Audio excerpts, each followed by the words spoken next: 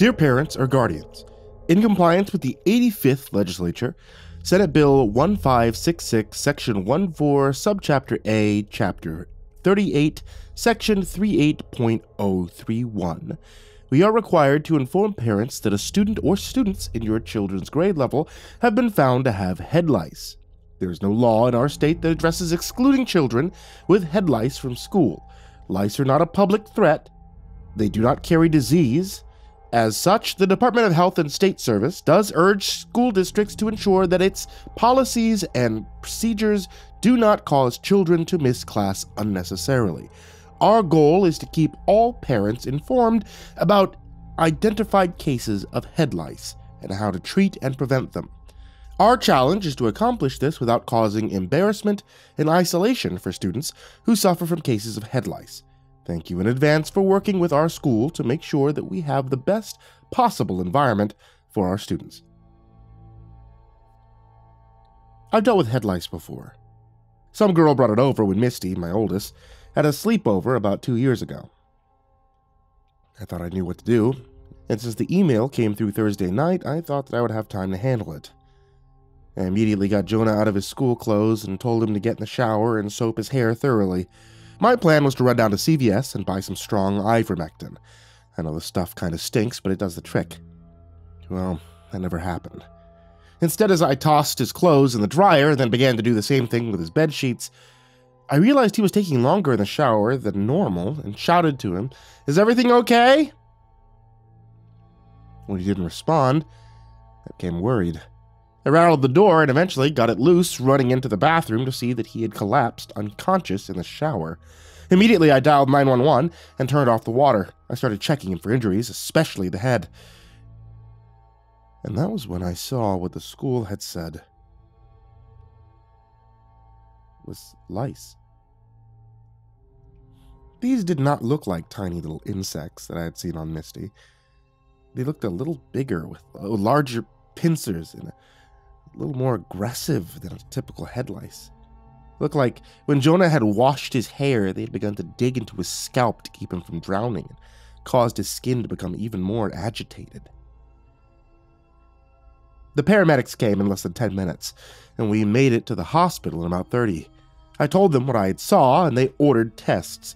When they got back and we were waiting on results, I asked him how he was feeling. My whole head is on fire, he admitted. They had placed bandages on the irritated skin, and I told him to lean forward so I can get a better look.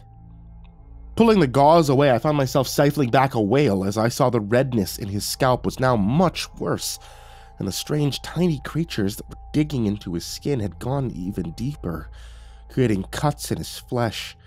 I called for a nurse and asked if there was any way for us to just shave his head and begin immediate treatment, but she insisted I needed to wait for a doctor. Jonah kept scratching and scratching, even making himself bleed, and I eventually couldn't wait any longer and went to find the shavers myself.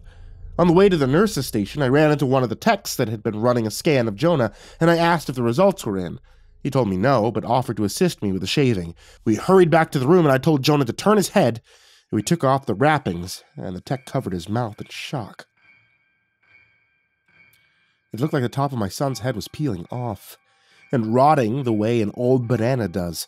Scars and bruises seemed to cover the part of the scalp that we could see, and something told me when we began to shave, things would get even worse. I told Jonah to remain still as the tech started the process, but it wasn't easy. I could see that when the blade was cutting his hair, it was also causing pain to my son. I gripped his hand and I tried to hold him, but it wasn't working. The creatures were burrowing deeper into his scalp, and when we got down to the bare skin, I could see that everything we were doing was only causing him more harm than good. I told the tech to stop, tears welling in my eyes as I held Jonah, and he moaned in pain. That kept going for 20 minutes until the main ER doctor entered the room with the results. His face told me that it wasn't what I would want to hear. We've never seen anything like this before, he said, as he showed me what the scans revealed. The insects were larger than I anticipated, longer and cylindrical. They had dug straight into my son's skin and even hit his bone. And it looked like they were intending to go deeper. This could cause brain damage if left untreated.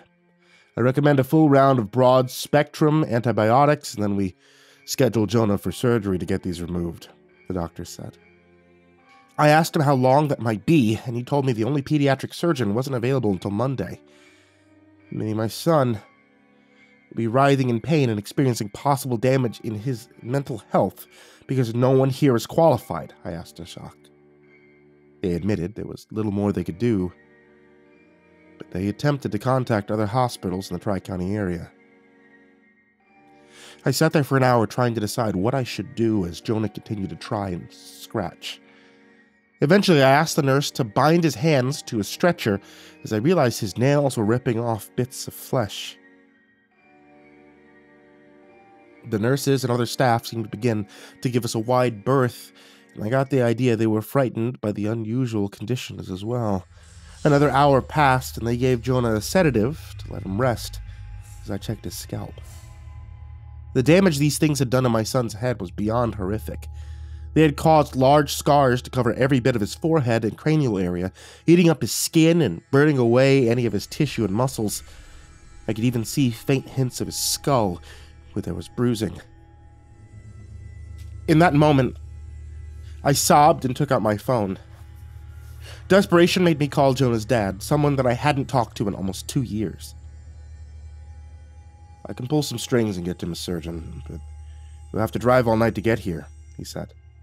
I told him it was worth it, and then demanded he let me check Jonah out so that we could begin the drive. Of course, the doctors advised otherwise, but I wasn't about to just let him lay there suffering for a few more days. Putting him in the back seat of the car, I gave him pillows and blankets to keep him comfortable and began the drive. It was so late and I was exhausted, but I pushed through, constantly checking the rearview mirror to see his condition. He woke up about an hour into the drive, moaning in pain and asking me to pull over. Sweetie, I can't. I'm trying to get you to a doctor, I told him. He began to vomit blood in the back seat, and I braked hard. Putting my flashes on, I got out of the way of oncoming traffic and unbuckled. It hurts so bad, Mom, he said. I offered him the last of the pain pills as I stared at the bandages around his head. They were soaked in blood from the damage these insects were causing. He tried his best to swallow it. Then I laid him back down and gave him a McDonald's bag to keep puking into. I had to focus on the drive. My mom called about 10 minutes later, checking on us and reporting that Misty was sound asleep. How's our boy? Did you get that lice handled? She asked. She seemed to think my trip to the hospital was an overreaction, and before I could explain the situation, he vomited again, and I hung up. All Jonah could do was shake and scream, begging me to give him more medicine, but I had nothing to offer. I sped up, placing my emergency flashers on. I had to get to my ex-husband as quickly as possible. I made it there by 3:30 in the early morning, and drizzle came down as I pulled my car up to the ER that he told me to head for. Jonah had been scratching again, and the bandages were torn apart. His head hardly had any skin left. It was now just a mangled mess of blood and loose hair and tissue. He pulled back his bloody nails, and I saw bits of bone from his skull were also tearing off. As the rain hit his scalp, he shuddered in agony. My God, my ex said when he saw how bad it was, and they rushed our son towards the operating room. He had dozens of questions, but neither me nor any of the surgeons had answers. They began to get Jonah prepped for an attempt at extracting these damn bugs when we got more bad news.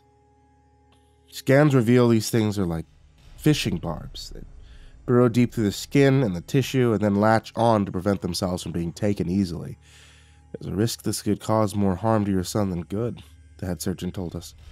I was trying my best not to hyperventilate. Just do whatever you have to do to help him, I begged. They promised me that they would, I had to sign a mountain of paperwork which gave them consent and, of course, waived any liabilities. Jonah was unconscious from the pain, but his body was still reacting to it. His stats were rising along with his core body temperature. I was certain that the insects were already attacking his brain. Thankfully, my ex husband didn't have the opportunity to spew hateful words at me about being an awful mother.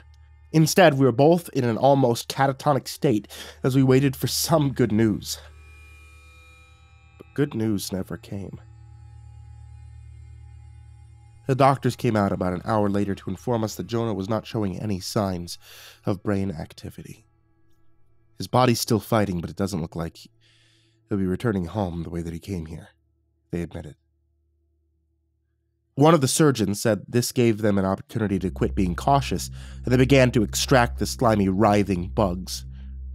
I got a chance to see one before they killed it. The thing reminded me of a long, thin centipede, covered in prickly needles. I'm certain that it hissed and shrieked as the doctors crushed it, and continued to remove others. Six hours later, there was no bugs left and our son was in a medically induced coma. It felt like I was dying, seeing him suffer.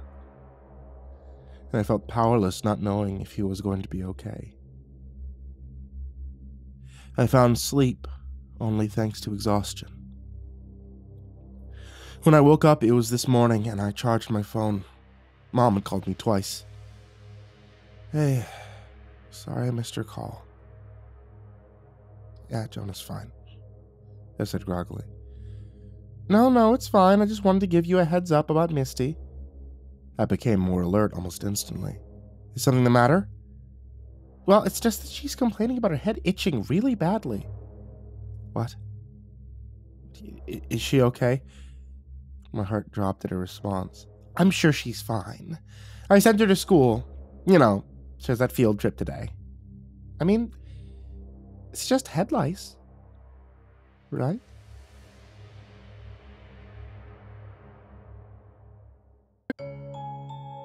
For those of you guys that like getting cozy while listening to stories, I'm going to let you know about etsy.com slash shop slash ivory monocle tea. That's my wife's tea shop. She sells hand-blended teas. There's creepy pasta based teas if you want to get one that's a flavor that you like, or there's Mr. Creepy Pasta tea, which happens to be a tea that I drink fairly often. You can also ask for a dabbing sticker. If you ask her for a dabbing sticker, you get a special one that I made for her to use on that jar, and she told me not to use it. So I like telling you guys to go ask her because then you get a special one, because then she's forced to admit that I made a really good concept even though it's very silly. Etsy.com slash shop slash ivory monocle tea. A big thank you to Jordan Alexander Sanchez, Jacob Fensky, Stephanie Butler, Jordan Humble, Chance Burnett, Diana Kraus, Brimstone Pandemonium, Kaltuna, William Wellington, Emma, Brenna Crow, Lakeda Canizales, Smiley the Psychotic, Dante Kincaid, Simba's Bloody Mojo, Mephistopheles, Curse Pox Primark, Bastion Beefcake, M, Jesus Corneo, Yargul, Clownable, Amber Clark, Jay Kierns, Dakota Lane Whetstone, Himbo Jerry, Crusader Chocobo, Adamarius, Estebean, Nate Cull, Our Minsect Time, Xylobones, Angelus, Seclude, Salty Surprise, Lebeda Galvin, That Creepy Chick, Red Shadow Cat, Turtleman, Cryolinian, Mr. Marcus Blitz, Ika Limchalk, Dirty Diver 030, Matt Bach, Voice of Sand, Fikamel, Melted Lake, Tali Sue, William King, Darth Miver, Sashi Suzaku, Coconut 509, Stricket, Freddy Krueger, Lisa Cottrell, Hades Nephew, Acid System, Mog, Kiwi the Sloth, Fester's Lampshade, Nico Kyle, The Ginger Bros, Aaron Stormcrow, Daniel Polson, and Corey Kenshin. To all of you guys, I cannot thank you enough. Thank you for being a huge support to me. Thank you to everybody who's in the description down below, and thank you to everyone who can even support $1 just on Patreon to help keep the content coming.